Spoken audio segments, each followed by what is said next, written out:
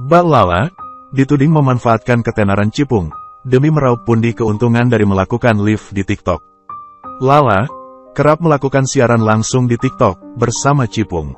Menanggapi kabar tersebut, Raffi Ahmad pun langsung pasang badan, membela Mbak Lala. Raffi tak setuju, Mbak Lala dianggap mengemis online dan memanfaatkan Cipung. Raffi dengan tegas mengatakan, Lala sudah menerima gaji yang amat cukup. Lala juga mendapatkan bonus, serta keuntungan dari endorse, yang bisa dikatakan lebih dari cukup. Raffi menyebut, konten Mbak Lala dengan Cipung itu, hanya untuk hiburan, hal itu, juga dikarenakan banyaknya penggemar, yang kerap menanyakan keberadaan Cipung. Raffi dan Nagita Slavina, tidak pernah melarang karyawannya untuk aktif di media sosial. Raffi menyebut semua orang, termasuk karyawannya, memiliki hak untuk bermain sosial media.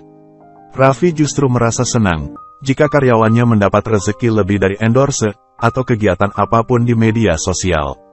Tanggal 3 Februari tahun 2023